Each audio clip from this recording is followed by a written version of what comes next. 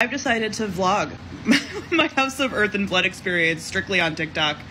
Why? Because I just I feel I feel as though I want to. I'm also buddy reading this with two friends because I cannot experience this without sharing my thoughts. But I think this will be fun because I'm going into this totally blind. I know nothing. I know nothing. I just know it's apparently urban fantasy featuring a half fae. That's it. So I turn to the first page where it has the four houses of Midgard and it tells me all the creatures that are going to be in here. And I was like, wow, did not expect that. So now it all makes sense why this is called the House of Earth and Blood, because that's like the shifters, humans, witches, animals.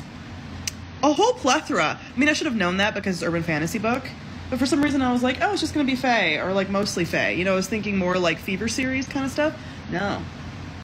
No, this is all of it, which has me very intrigued. I'm nine pages in, and people said the world building was really info dumpy in the beginning, and whew, I am an experienced fantasy reader um, and urban fantasy, and like this is a lot. like this is like Sarah, calm down. Um, I like I need you to just like wait a little bit. Maybe is there a is there like an index back here? I don't know. Like it's just it is a lot. Um, I'm following, but I'm also like, can you explain this just a little more spread out. Also, with the whole Midgard thing, um, and their spelling of hell, like hell from Norse mythology, I'm like, is this supposed to be Norse? Lots of lots of info dumping at the beginning, but I will push through. I will persevere. I'm reading through House of Earth and Blood for the first time, totally blind, don't know anything about it, and here is my reaction to chapter two. Danica turns into a wolf, but when she's a wolf, she can still talk with her human voice. But then when Bryce's mom called, she shifted back to doctor on the phone. Bryce could have just held the phone up to her mouth, probably, right? I don't know. they just mentioned the drop, which is how they get their immortality. Uh, and I suspect something's going to go wrong with that. This is my theory. Again, haven't read it, no idea. Um, but it's like Danica is gonna get all this power and be like the most alpha, blah blah blah, and I'll have like nothing. And I'm like, as the main character of uh, a Sarah J. Maas book, I don't believe you. like, I think, I think something's gonna happen. Um, also, people keep saying like, "Tell us your reaction to chapter 5. and I think that's the chapter that everyone says they cry at, and I'm like, I highly doubt I'm gonna get attached to characters enough by chapter five. You're probably all gonna leave snarky comments to me about that, but like, I have two more chapters before chapter five, and I don't know if I'm gonna be that attached. So we'll see. I'm reading through House of Earth and Blood for the first time and going in completely blind. I don't know anything about this. I never read the synopsis or anything. This is my reaction to chapters 3 and 4. I'm starting to get a sense of the world now. At first, I was kind of like, what sort of world is this? This mix of fantasy and modern. And now I'm like, okay, it's very much modern. When I say I don't know anything about this book, the only things I do know are some of the character names. So we have her talking about like a guy, and then there's a werewolf that also has a crush on her, and I'm like, you're not going to be the one she's with because I know the names of the two people that are in the ship wars. I don't know anything about them. I don't know when they get introduced, but I know that they exist. Also, is Sarah J. Maas becoming self aware? Uh, because she's using the term alpha hole, and I know for a fact that people are using the term alpha hole to sort of like criticize her alpha males in a lot of books. So, she, does she know? Is that a little like nod to that? Interesting. I still fully believe an alpha male is going to arise and be the way that they are. So, I don't know. Self awareness while still doing it, I'm assuming. Uh, who knows? But next up is the famous chapter 5, so I'm going to read that and then basically immediately react to it. I will say, and I'll reference this again, I literally don't know anything about this, so I hope that you guys are going to refrain from leaving like little hints and stuff in the comments post chapter 5. Like, I already knew about chapter 5 being a thing before going into this, but like after this, I truly know nothing. So please don't hint at stuff or talk about stuff in the comments because I see that. I get that I'm taking a risk doing this on TikTok and having a reaction, but you're basically ruining the reaction for yourselves too in the entertainment if you're giving me hints at stuff. So try to not do that post chapter 5 because I already know about the chapter 5 thing. I'm reading through House of Earth and Blood for the first time, totally blind, don't know anything about it, besides the people have been mentioning in the comments that chapter 5 is a big deal. So here is me pre chapter 5. Okay, I just finished it, uh, chapter 5. maybe it's because I was warned that there was like something. Um, uh, yeah, I was not upset. I kind of figured that they were all gonna die. Um, and people said it was like, oh, it's really like someone in the comments said it was like really gory or whatever, and I'm like, maybe it's because I just finished reading a bunch of urban fantasy, like adult urban fantasy, uh, that uh, this last week. That shit was way gorier and like more horror and whatever than like this was nothing. This was nothing. Um, uh, that, that that's not discrediting if you were upset by this chapter. I was like not shocked. This is like very classic urban fantasy and like low on the violence, honestly, in that chapter. So yeah. Um, is it sad? I, I guess, but I also like didn't really know those characters that died. Um, sucks that she was real high when that happened. Yikes. Um, also, she like ran after this thing, and I'm like, girl, you are in, in no, like, you don't have the capacity right now. Um, but yeah, um, chapter five did not particularly stand out to me.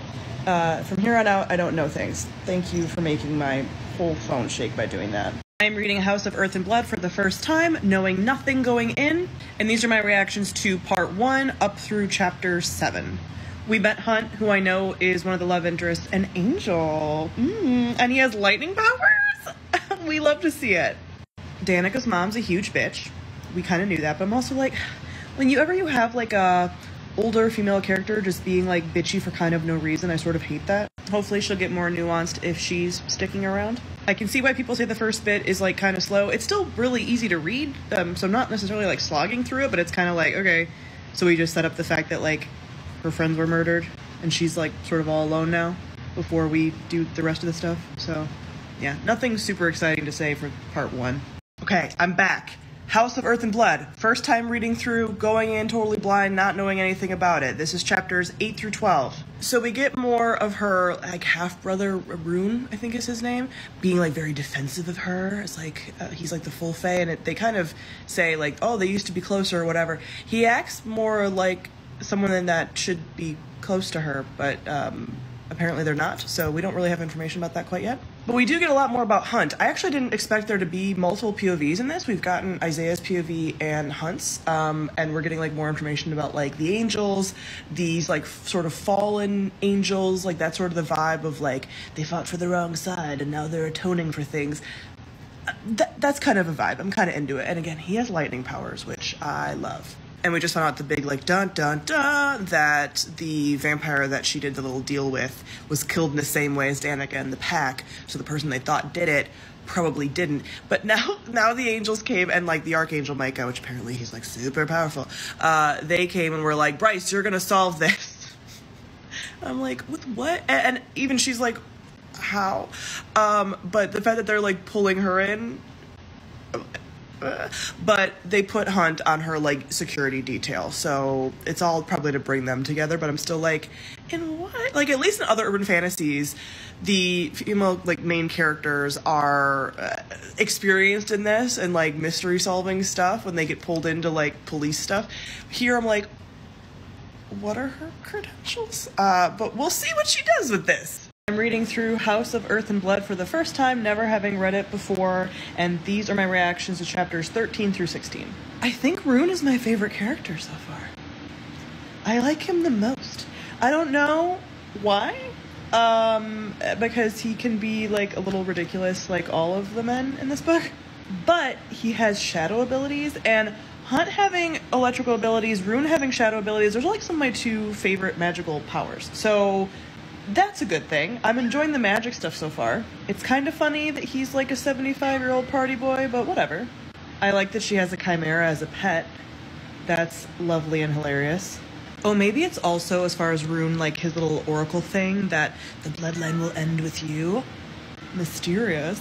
Also, I don't know if this was important, um, but when he was high and she came, Bryce came to his room, um, and like he felt like the sword was singing I'm like, was that you being high, or is that is this a hint to her powers? Because we know there's going to be something with her. For fuck's sake, just get around to it. Much to, I'm sure, Mari's chagrin, um, I don't necessarily notice all the M dashes that Sarah J. Maas uses, um, but the incessant use of the word hell uh, is just like, please, please pick another swear to use. Although sometimes she does use alpha hole instead, which I thought when she did it earlier, I was like, oh, she's becoming self aware.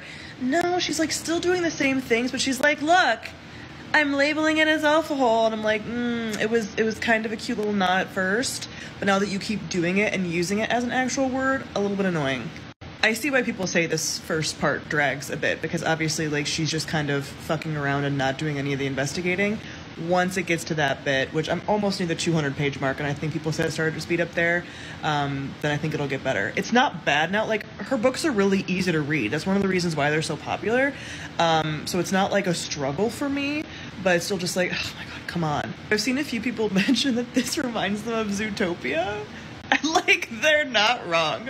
Uh, there was like a moment where uh, Hunt saw some like quail shifters crossing the road, and I was like, this feels very much like background Zootopia vibes. So, and I've never felt that way about another urban fantasy book. I don't know what it is about this specifically. Also, the Fae and the Angels hating each other, kind of interesting for me, because you you feel like they're almost like similar, and the fact that like there's like a, a feud between them, an interesting little twisty twist. Okay, yes, this. With the alpha hole comments in House of Earth and Blood, when she first did it, I was like, oh, she's getting self aware, she's heard the criticism, blah, blah, blah. The fact that it keeps coming up is, yes, it feels very like performative, and also it's like she's not actually changing the way that she writes these male characters because she's still writing them as alpha holes. Sure, Hunt has more substance i'm sure whatever. The whole point is when you're having these sort of yes very alpha male angry blah, characters okay, either lean into that and just be like, that's what I do and I'm not even going to address it. Don't have the characters being like, oh my god, you're such an alpha hole, I hate it, I'm sticking up to you, and then not actually changing the way that you write the characters. Susan Dennard has done some talks about this, about how she originally was writing one of her characters in the Witchlands as like an alpha hole and changed his arc, and that was done so well, so I encourage you to look into that if you want to know what I'm talking about with this reading through House of Earth and Blood for the first time, not knowing anything going in, and these are my reactions to chapters 17 through 19. We finally get to some investigating. Yes. I do love that she was kind of dragging Hunt around. Like, she was actually doing stuff and he didn't realize that she was doing stuff, and she was sort of like sticking it to him. And we're starting to kind of see how, like, sure i don't know if micah knew that she had like these sort of connections i guess with the like antique shop she did but the fact that she's like okay i know things. Like i know about sort of like the black market. I know how to get a hold of things because of my work at the antique shop. So that's making slightly more sense she goes and gets summoning salts, which I think was kind of smart. Again, she gets the Viper Queen um, to talk to them in that way. But also, like, Hunt's like, I'm still suspicious of her and her boss. And I'm like, really? Like, I get that you think she's stupid, but do you really think that she was going to be like, hi, I know how to get all this stuff because I obviously did it? Like, his just incessant belief that she's dumb, even though I know that's the facade that she's put on, is just annoying. Um, like okay whenever you have characters like the male character in particular in a story being like you know she's so stupid she's so vapid and then eventually realizes like oh she's not. It's just a, a narrative that i don't really tend to like. Because she's obviously showing herself to be like at least a little bit smart even for him to be able to acknowledge that like she got him to follow her to like show up all angry so that her scooter wouldn't get stolen. Like smart you know? Like she she does some of these things. She got the viper queen to talk to them way sooner than going through the official channels. So yeah like his incessant need for her, him to be like oh she's obviously the killer but also she's stupid i'm like these two things don't match up i also think it's funny that the viper queen's office was a bit of a wreck uh, because it subverts expectations and i think it was just kind of cute and since the Viper Queen gave them a little bit of a hint, uh, there's something to kind of go off of. It's the start of the like real investigation. I feel like we're gonna get into stuff, hopefully. I'm reading through House of Earth and Blood for the first time, not knowing anything about it, and these are my reactions to chapters 20 and 21. Hear me out. I have a theory. Don't tell me don't hint at me, don't do anything. But I have a theory. So Ruhn meets with Hunt and Bryce and says that he has to hunt this horn uh, and finds out that the demon that killed Danica and the vampire and everything, well, supposedly the vampire, um, is this demon that hunts the horn, basically. My theory is that Bryce is tied to the horn somehow. Like that's going to be her sort of like power thing um, because it would make sense that that's why, like, potentially what I mentioned earlier about like the sword sort of singing when he was high when she was around, um, and then the two murders happening after people had contact with her. And then there would probably be something attached to the Raven because obviously she was at the Raven before both of those people died. I don't know if that was just like a coincidence kind of thing. Um, but I'm thinking like, okay, working theory. Not that she is the horn, like that that'd be a little bit too complicated, but somehow she has like something attached to the horn. And maybe the demon not going for her is because of that amulet that Jezebel gave her that she wears that is like crazy enchanted and all that. Um, that's my working theory right now. That feels like again, I'm keep trying to be like, what is her like big power thing gonna be? Because we know damn well, as a Sarah J. Maas main character, she has to have something huge, you know? Like so that makes the most sense to me. We'll see though. I'm reading through House of Earth and Blood for the first time, and these are my reactions to chapters 22 through 26. This is when we get a little bit of a flashback to some accident that happened with her and Danica, and it seems like she potentially unleashed power at that point because she told Danica, like, close your eyes. Um, and they were something was about to happen, but it hasn't quite been revealed. So this kind of this kind of goes along with my the whole horn idea it definitely feel like there's a tie there. And then there was this bombing that happened in the Raven, um, which seems like it's sort of tied to everything. Maybe not, like maybe that's a red herring and it's not actually tied to it. But also, there was a picture of the horn on the bomb.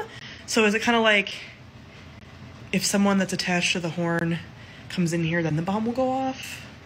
Like, how does this magic work exactly? Hunt finally found out she's not a vapid party girl. She doesn't drink. She still has a scar that technically was caused by him stapling her up two years ago. Um, that Micah was the one that she saved. Ooh. We obviously haven't gotten to the parts where like they start either like flirting or become potentially a couple because I know people ship them. Um, but so far, I don't I don't think I'm going to necessarily like their dynamic. I know there's a, a, another guy option that comes in later on. I'm interested to see what I think about him um, because I know that there's sort of like a, a war going on about who she's going to be with. I'm assuming another Fae comes in because you know like the whole Fae mates thing is Sarah J. Maas's big thing. But yeah, him talking about his like past love, I just feel that that was that's still a thing that he's tied up on years later. You know, I don't know. But not only do we have the bombing, we have another murder of an acolyte. That's same demon murder um, after they were at the temple exposed to her, basically. So I'm kind of like, I think she's attached to the horn in some way. The horn is her. I don't think it's necessarily that, but like that's that's the power there, in my opinion. My reactions to House of Earth and Blood chapters 27 through 31. Not a ton discussion wise happened here. Ruhn finds some information on like the Starborn and things, and this just further kind of cements my idea that Bryce is somehow connected to the horn and possibly she has some kind of like starborn abilities or something since they have the same lineage. There was another comment kind of made about the um, gun that is at the gallery and it like sort of making a sound when she's around. Again, I don't know if this is just coincidence and Sarah. Maas is talking about some of these weapons um, happening to like sing, but I don't know. I feel like why even point that out? so either she's connected to the horn somehow or maybe she's the one that can like mend the horn because it needs light that's not really light and magic that's not really magic and maybe that's like her i don't know i'm just i'm just guessing i don't know enough a little bit of the flirtation is starting between her and hunt and again i'm kind of like i don't know if i'll ship this they just ran into Sandriel and she used her whole like vapid girl uh, thing to get them away from her kind of smart. But there is that thing, and this is kind of an urban fantasy trope thing, um, where like everyone's in love with her. like anywhere she goes, like Micah hits on her, like everyone hits on her. And I get that she's pretty, but also like in a city like this, there'd be a lot of pretty people and creatures and things. So I don't really understand, besides her just being like main character energy, that like everyone thinks she's gorgeous. The governor, Archangel, like even would hit on her. You know, um, like I don't mind her. I'm sure she's very pretty, but it just seems like a little much. But that is kind of a trope of the genre, so whatever. House of Earth and Blood, chapters 32 through 36 reactions. So we get some reveals from the Oracle when Hunt goes to visit, which is kind of interesting. She warns him to stay away from Bryce, and then Bryce says it's because when she went to get her little prophecy, the Oracle tried to rip her own eyes out because of how awful her future was. Yikes. But also, the Oracle wants to tell him his future, and he's like, yeah, no. But she does say, like, oh, I never thought I would see this kind of power again, or whatever, like something's rising in you, which is a little intriguing about him. Then they visit Briggs, and we get the reveal that Briggs actually respected Danica, did not want to kill her, uh, wasn't involved in killing her, thought that she might potentially be sympathetic to the cause. And that connects a little bit more to the whole thing going on with the horn, since she was the one that was at the temple when the horn was stolen. Is it like, okay, did she sort of let that happen, possibly? We also get some reveals about both of the characters' like backstories and stuff, particularly Hunt's, and this is when they start to kind of be like, "Oh, there's more to you." This is a very classic Sarah J. Maas scene with the like surly male character when it's like, "Oh, I found out that you've been tortured or you lost the love of your life or something." Like, there's always something like this. Also, don't mind the city ambiance. My window is open because it's 60 degrees in Chicago today. I need to enjoy it while I can then we kind of go zero to 60 with the attraction to each other. Uh, we have a lot of just like sexual language when Hunt is like watching her at one point, and it's just like, can we have a little bit of a transition there, please? Then the shooting range scene. I have a quibble with this. Did I kind of like the sniper scene uh, where he shoots through like her bullet thing? Sure, Sure. However, a little contrived. Um, why is she a sharpshooter? There is mention that her stepdad was like a sniper or whatever. So I guess we can infer that her stepdad like taught her how to shoot. However, you don't just like retain sniper skills. Um, that takes a lot of practice. So the fact that it's just like, oh yeah, she can just I don't believe it. We haven't laid any groundwork for that besides her dad, stepdad being a sniper. It just feels a little too I'm good at everything with nothing to back that up really. And believe me, I love a sniper date. Uh, in Mass Effect, one of your love interests, you can go and like basically have like a sniper competition. I love that. I eat that shit up. So it's not that. It's just the like. There's no precedent. It's not like we talk about her going to the shooting range. None of that. Like that would be a skill that you would have to maintain, even as a Fae, in my opinion. And then he does the whole like, what other alpha holes haven't seen her for who she really is? And I'm like, shut up with the alpha hole thing, please anyway. But another murder just happened. So let's see what that's about. House of Earth and Blood chapters 37 through 41. I'm losing track of these numbers. The big reveals were that they're possibly suspecting Sabine, which I was like, that actually kind of makes sense because when she first came to um, see Bryce in the holding cell after Danica died, it wasn't like she was really upset about Danica dying, and like it was made very clear that like she kind of viewed her as a rival. And they made the connection that the demon is being summoned around the ley lines, but they also made the connection that the ley lines are around the sewers, and that's how the demon's getting around. Right now, it's also hanging around like Sabine's stronghold. I'm thinking this is a red herring honestly. Um, but also, I'm not sure because Sarah J. Maas has a tendency to make some of these twists be like super, super obvious. I'm not going to mention some of the things from like ACOTAR and Throne of Glass, but there were some things that were like, oh, it's such a, and it's like that I knew this a long time. So it would make sense with it being Sabine, but I also wouldn't be shocked if it wasn't Sabine. We also haven't had enough Ruhn in these last couple of chapters, but we did have him visiting a Medwitch, um, and I was like, is he gonna have a little Medwitch romance? I want more witch stuff. I have a feeling that we're not gonna get like a ton of witch stuff, but I want the witch stuff. Please. House of Earth and Blood chapters 42 and 43 reactions. We got to see two different places, which is exciting. Um, I loved the mer people and Tharion, is that his name? Um, that was great. Love him. I hope we get more mermaids. But highlight of this was that there's little otters. this is very Zootopia. But there's little otters and they're their messengers. I would also die. Like the moment when she like shrieked when she saw one, like same I love otters so much, and I have friends frequently send me otter videos because I love them. So, like that, I dig that. The stuff with the werewolf part of town, Moonwood, there's a thing that I hate about like antagonist characters in books in general, and not just this one, but this one is doing it really bad, is when the antagonist refers to the female character as like a slut or bitch. But slut is what's used in this one. And it's just like so irritating. Like, for one, I don't understand why Sabine calls her a slut so much. Like, why is that the go to insult? Like, if she wants to, why not just say half breed? Like, why the slut thing? Especially because Sabine wouldn't really care if she was a slut or sleeping with a lot of people or whatever. I now get why Ethan was doing it because it explains how like okay, according to wolves, like they were basically mated, even though it's like okay, it's like very extreme even for werewolf circumstances. So technically, they would consider her like cheating on him when he was dying, which it still is like yikes, but it's not like she didn't know, you know. So again, people act irrationally in grief, so for him it like sort of makes a little bit of sense.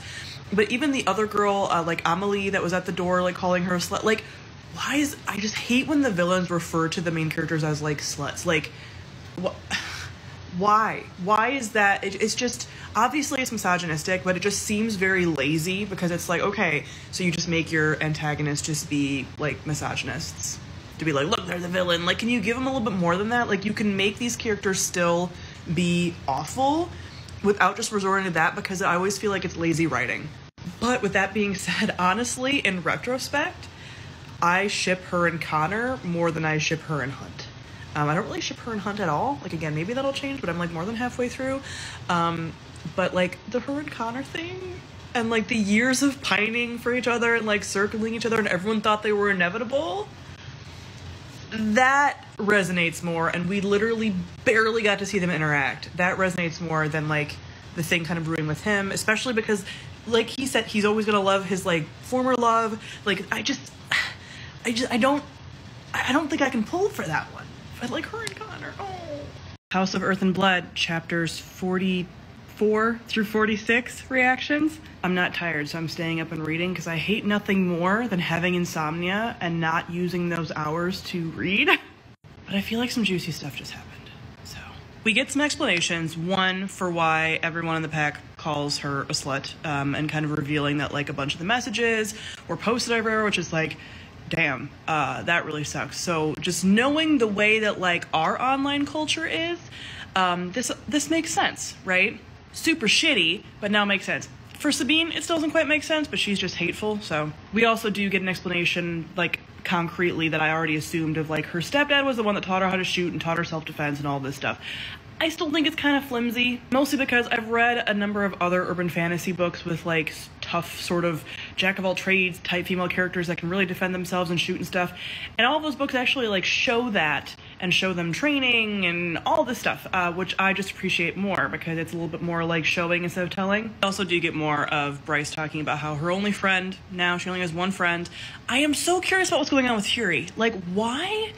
Why did you just dip out like that. Uh, curious. I want that to be just explained. Oh, there's also some cool stuff talking about the bone quarter. So the bone quarter, I have questions. Obviously, don't tell me. Uh, but these are the things I'm thinking right now. Uh, why is there like a whole part of the city where all the dead go um, when it's not like this is just a city? So where do the dead outside of the city go? Because it's almost like this is an underworld, but it's not really.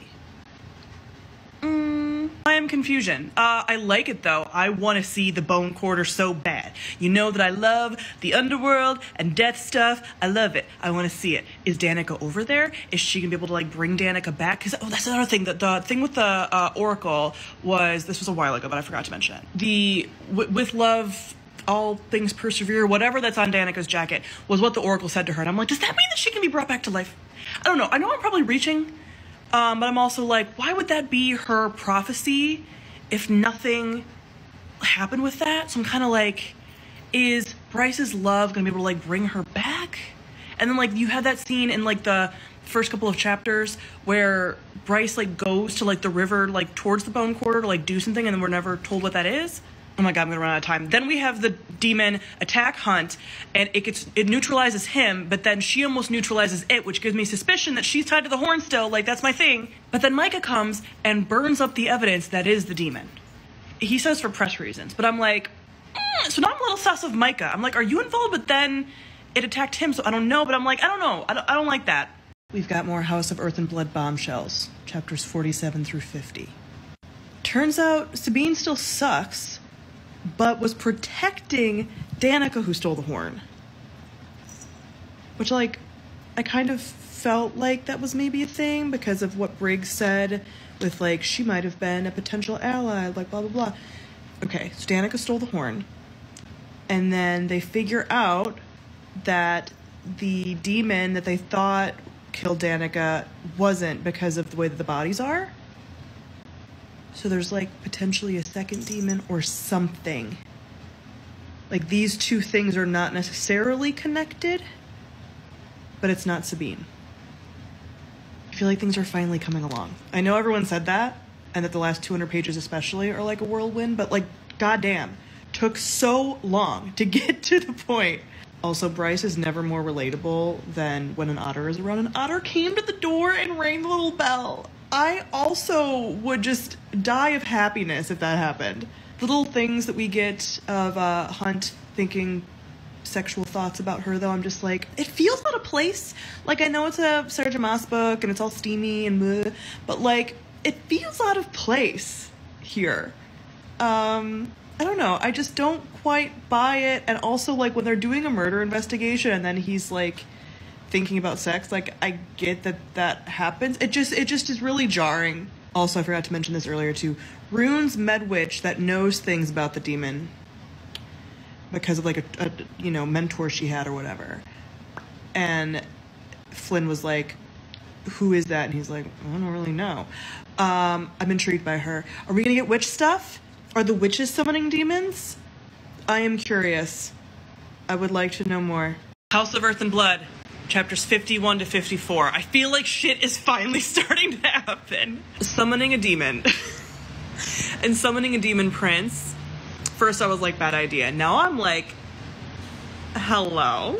I'm a little intrigued by Aidas. Uh, came out of nowhere, kind of. Didn't expect that, but the, like we're getting more of the hints of like what happened with the Oracle. Like he's wanting her to like come around when she does the drop. Like, does that mean she's gonna get all this power? Like, what is going on? Why is a Prince of Hell interested? But I'm okay with it. I also actually kind of like when books will do this thing that like demons and hell are like not hell as in the Christian hell, but like another dimension. Demons from another dimension, totally fine with me. I do wish that fantasy books though would start being like, okay, it's not just evil, horrible creatures in another dimension. There's also like other kinds of people. I want a book to finally do that. That like it's not just horrible, awful beings coming through. It's also something like th- there, there's people that actually like living there. Uh, that's what I would like. Instead of it being like, oh, it's hell, it's horrible. It's like uh, they probably like it if they're made for that place. But after that, we have her figuring out that there was like Fae tech that could have helped with the investigation two years ago, and she like runs out to like her father's place to try to yell at him, and I'm like, what for? Like, it, it just seems like a waste of it. Cut that chapter out. Like, it's shit like that where it's like, why? Why did you just waste that time for what? So they could have her and Hunt could have a little bit of like a disagreement after because she went and had some whiskey after that. When really, like, why was this the tipping point? I don't know. It just seems like excessive when this book is so long. But then we get Hunt going and doing another murder and coming back um, mentally scarred. And there's a, a comfort scene where she like she like washes his wings and that I started to like it then. Okay. I don't know if I fully ship it, but like a little bit. Like she comforts big bad warrior man and like washes his body and it's all like not sexual and like they like cuddle in bed. That that's cute. I haven't seen a really good comfort chapter in quite some time. I know it's a bigger thing in fan fiction, but I haven't read any fan fiction in a while and I'm like, "Oh, I missed this. I like it when characters do this. Yes, very good." So I don't think I'll fully ship them, but I don't I don't hate it. He like grabs her arm for her to stay. I, I, that the comfort stuff. I'm like, yes, I love this. So I, I'm getting slightly more invested in the potential of like their flirtation and stuff. Even though the random sexual thoughts still throw me off, they still throw me off. Like I think they were literally something in demon and he was thinking about sex. Anyway, anyway, it made up for it with the comfort chapter. House of Earth and Blood chapters 55 through 60. We've got synth stuff. So found out that synth is a magic, that's not a magic, that's a drug that has healing properties, blah, blah, blah. I immediately flipped back to the beginning because I was like, I'm pretty sure that's the drug that Fury told her not to like look into at all. Yes, it is. So this is obviously going to be the thing that can heal the horn. Like it's all very obviously tied together. But we're still having chapters where stuff is not happening and I'm like, just do it! This does add to the slow burn of the romance, though. I will say, Sarah J. Maas, for all of her writing faults, can do a slow burn romance super well. So, are her and Hunt kind of growing on me? Yes. I don't think they will be my endgame. I want this new person that everyone says gets introduced at the end of this book to come in so I can be like, who do I like better? I just want to know. But anyway, found out Obsidian Salt is in the synth. The synth was in like all the victims' clothes, particularly Danika's. Danika was potentially selling or confiscating synth. Wow, needy. Part of me, this is a stretch, but part of me is like, okay, since Black Obsidian Salt is in the synth, could people have been taking it and then that's how they're dying because it's almost like summoning a demon like out of them? That seems like a stretch. But the fact that there's like not a demon that they've been able to identify or see or anything, or oh no, this is this is what I thought. Maybe it's like this was one of my one of my theories that I had. Maybe it's like turning them into the Kristallos demons or whatever. Like it's coming. Bleh. I don't know. I feel like that's a little bit too spooky horror for Sarah J. Maas, but maybe I'm just theorizing. I like that we got her mom and her stepdad's little love story background story. Cute. I love a like bodyguard romance. Short story mayhaps. I won't read it. I don't read short stories that have to do with series, but would be a good idea because they seem cute. Then we have the whole Danika's birthday, everyone forgetting. Uh, this is depicting grief like pretty well.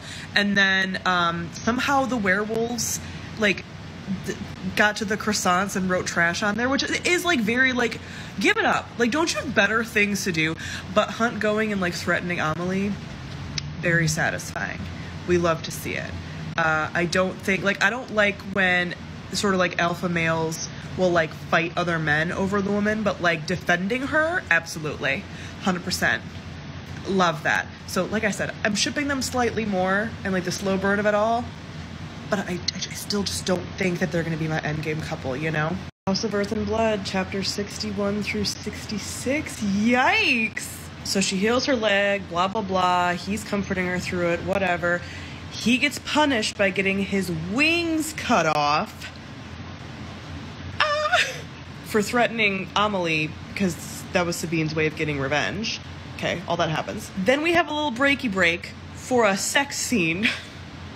with his mutilated back, which of course ends horribly because he starts bleeding. It's like a day later. And Bryce discovers that Danika knew things about synth and everything, and that she was like in on these like trials and left hints for her. Um, and then her like building got burnt down um, from the old building, so she couldn't look for clues.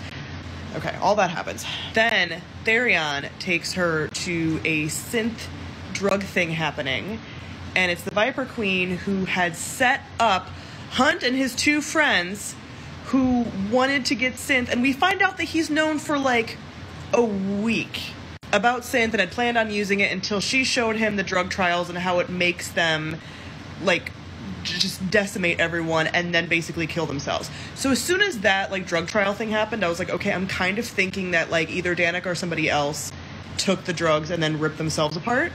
And in a very info dumpy chapter where he just basically reveals everything, that all gets revealed that that's essentially what happened.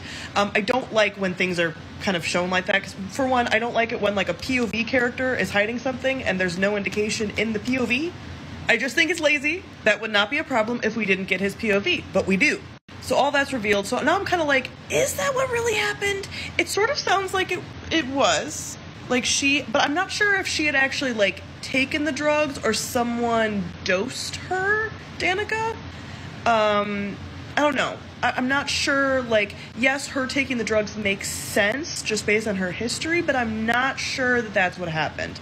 I feel like it was almost a setup of someone like dosed her to make all this happen and, and make it look like it was her fault. Oh, we also get the reveal that Bryce traded her spot in the Bone Quarter, and they kind of revealed that like, oh, there's other like sort of underworlds around the world too, and if you trade your spot, you can't die anywhere. So she traded her spot for Danika because she was worried Danika wouldn't have a spot, like her soul wouldn't be light enough to make the journey or whatever. Um, I'm, I'm still like, okay. I'm not unconvinced that Danika won't make it back because of the whole through love, all things persevere or whatever. Now I feel a little better that I wasn't all 100% for her and Hunt because he did still like cover up and it was shady, but I see why he was trying to do it, blah, blah, blah. But if this is their little breaking point and how like the other guy kind of comes in and then becomes like this love triangle, I'm okay with that. I love a love triangle in books like this specifically. I'm gonna go to bed, and I like need, feel like I need to get more thoughts out because I'm not gonna read any more before bed. I'm just gonna spend all day tomorrow finishing up the book. So up through chapter what 65? We said whatever. This doesn't make sense. This doesn't make sense that him and two other angels, rebels, whatever, uh, the wraith and the one other angel, that they thought that they were gonna do anything with that synth that would leave any kind of lasting rebellion. Like I guess they were like they're gonna give it to other rebels I just feel like they didn't have enough of a group that that made enough sense to do and to take that risk. And Hunt, as a general, and even though it was like years ago and whatever, like he's strategic. So this whole plan makes no sense for the characters to do that. It's like Hunt and Viktoria were talked about as being like very intelligent, potentially conniving, whatever. So to have this like synth plan to be like, yeah, we're, they were going to take it, and especially in light of the Medwitch, which I want to get to that other point too, because I, I was thinking the gears were turning, especially with the Medwitch kind of hinting that she might be able to remove his tattoo. Why would he take that risk with the synth and like a very flimsy plan? Out of character. So I feel like either that was poorly written or there's going to be more reveals that reveal that this wasn't exactly quite true. There's also a little bit of that thing at the very end of that part, what was that, part three, um, where Fury and Ruhn are talking as like Bryce is kind of out of it and Ruhn is kind of saying, oh, like you couldn't have helped them like the other two that weren't Hunt. And she's like, they were traitors. What could I do? I'm like, why would she have wanted to help anyway? It was very confusing.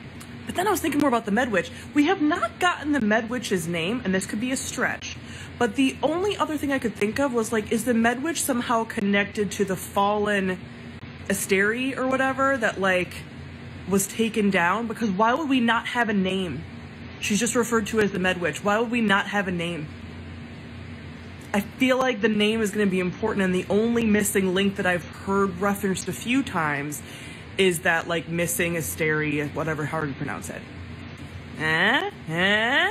House of Earth and Blood, chapter 67 through 72, aka the Why is Bryce So Dumb Chronicles. Today was a wash day, so you guys get to see me clips and all. Um, I'm annoyed.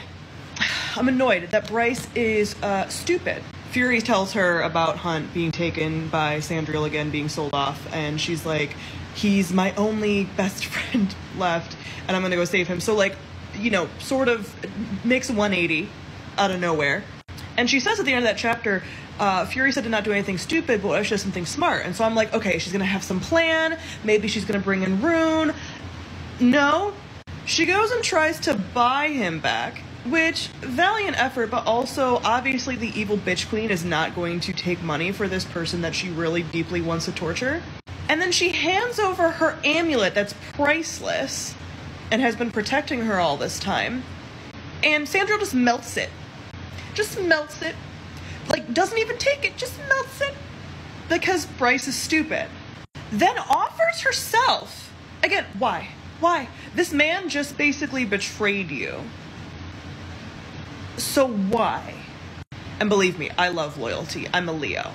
Very big on the loyalty. However, if someone screws you over like that and does some dumb shit, you should probably have a better plan. Like, I, I'm okay with her trying to help him. Have a better plan. Then she gets pissed when Ruhn saves her and like reveals sort of who she is, which Sandriel already knew. And she's like, I will never forgive you for this. I will never forgive that you mess this up for us, whatever. And he's like, I didn't mess up anything. This was never going to work because it wasn't. Of course, that was never going to work. And why would she even do that? And then she is pissed at him when they save her from the demon and deletes his number from her phone. And he's like, go cry about it because no one's going to side with you. And he's right. Like she keeps doing the same shit, running headfirst into shit over and over, thinking she's gonna get a different outcome, and she doesn't. And I would be fine with that and the stubbornness if that happened at the beginning of the book, and then slowly over time she learns and adapts her behavior and starts like changing things and making plans. But she doesn't. So she just comes across as insufferable and annoying. Okay, House of Earth and Blood, chapter 73 through 80. Did I shed a tear during this? I did. So we get the reveal that Mike is the big bad guy. Mike is the one that dosed Danika and the pack and essentially killed them, whatever. Uh, the problem with this reveal for me, personally, is the the villain monologue. the villain monologue of I am wasting time by telling you my entire plan. And this entire plan is happening to be broadcasted to everyone at the summit because Jesiba had you know cameras and is showing everyone um, and also just the fact that like it doesn't really make sense that Jesiba would like show everyone what's going on, I guess is a chance to like help Bryce, but how has it helped Bryce? It hasn't really. So it was just a method for everyone to learn that Micah was in fact the bad guy. But I was right. She was the horn. I didn't know it was the tattoo. I should have known it was the tattoo. But she is essentially the horn. This all makes sense. She just happens to have another amulet though. just another priceless, I mean, it's not priceless, it had a price, but another very rare amulet she just has now. But this whole thing is also her ordeal, which they didn't really go into detail about what an ordeal is, and I'm guessing she's gonna come into some kind of power after this. But he tried to kill the Chimera. I knew it wouldn't die, but I was still like very scared. Uh, and then Lehabah, is that her name? It's so hard when I just read things because certain names my brain just skims over.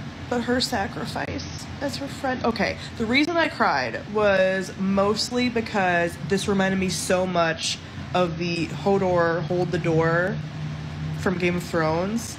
So the combination of like my friends are with me and then they all like they all rise at the summit besides Sandriel who sucks. Um, and are almost like saluting her sacrifice. I'm gonna cry again.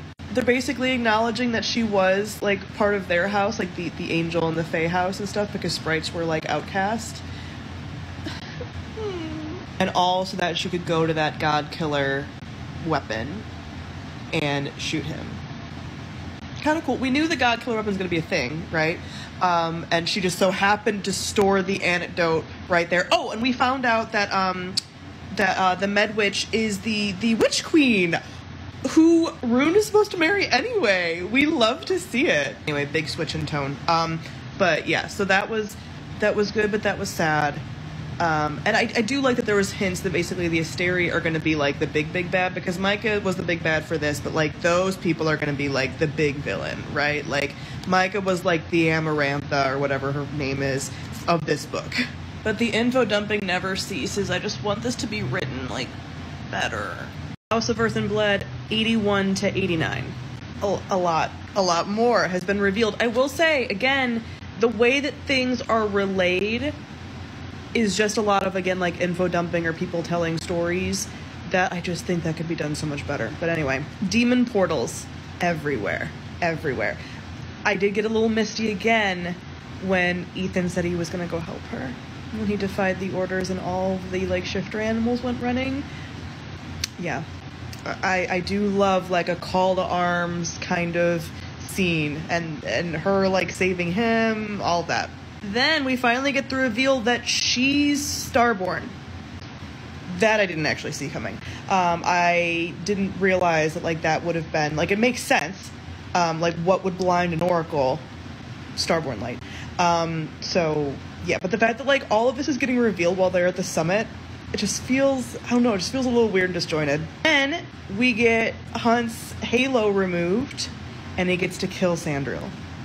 Very nice. Although I will say, very typical of Sarah J. Fashion, I just feel like they're killing off potential antagonists like so fast. Like I thought, okay, Micah would die in this book, and then Sandra will be around for a while, uh, and she's not, which I was a little like. It feels very Amarantha 2.0. But the fact that she kept everything a secret for Ruhn so he could stay a chosen one, but he's like that wouldn't have mattered. And then they're they're going to help. They are now going to help and I'm I'm liking like the little like certain sort of heads of the city and stuff, um, especially the Witch Queen. So cool. But he kills her, and then all of them bow to him. So it's like, is he now like the next in power? Is that how you like, uh, how you take over? Maybe because they're obviously going to be going up against the Asteri now. That's obviously going to happen because now she's going to be a big threat. I am thinking more and more now that maybe her and Hunt are endgame. I don't know. There just hasn't been enough of whoever the second person was, which is apparently people have told me it's Aidas, which I was like, really? Um, as as like the, the potential the potential threat. But I just feel like it's setting up so much for like that like he brought her back to life. She was waiting for him. My heart was waiting for you. All this stuff. That feels endgame to me. But we'll see. I think my next update will be the final update. I'm gonna read till the end now, unless something crazy happens in the next two chapters that I really feel like I need a full video for. Chapter 91 through the end, I just read the lighted up Danika, Danika from the Bone Quarter.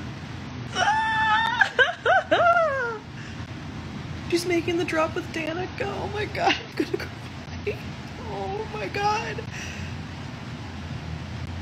She was gonna give up down there and then Danika was like, no, like the whole pack helped her get over there, and and helped her make the ascent, and then Danika like gave her last little bit of life, and then Sabine, I didn't care this much until this last little bit, and then Sabine was like, she's not alone when the Autumn King said that she was. She's alone. No, she's not. Oh my god. I do think it's kind of funny that we have Hunt trying to like do compressions on her and he's like, say I love you to my fucking face. okay, so she made that drop. Past even like the Autumn King's power. Using all the power. So is she gonna like keep all that? Now she's like super powerful. I mean, it makes sense for a Sarah J. Maas character to be like super powerful. Uh, but like, what? What? Also, I do think I do think they're endgame. This whole like he had to go through everything to be here for her. They're mirrors to each other. I would be very stunned. I would be very stunned if they didn't end up together with all the language surrounding them. Pause for an almost sex scene, which really just ruins the momentum of the ending. But now Isaiah is in charge, and it looks like Hunt just looked down at his wrist and maybe the tattoo's gone. Okay, tattoo removed by the Asteri to try to keep them in line. Like, that's gonna go well. But the scene with her and Ruhn where they're like, You're my sister, you're my brother. That's sweet. But the epilogue, who's the, uh, like, how is the light different? How did Jesiba know Hunt's dad? I don't think we really talked about, like, any of that stuff. Obviously, it's all gonna be book two stuff. But I don't know why people were fighting over like if she's gonna end up with. A- I don't think she's gonna end up with Aidas. Maybe I'm wrong. I just feel like her and Hunt are like very solidly like linked now. I don't know, but the little ending that she got where got she got to see the pack on the shore. Um, yeah. Anyway, I will do a full review of this as well on my YouTube channel and here, just to give like my overall review and not just immediate emotional reactions.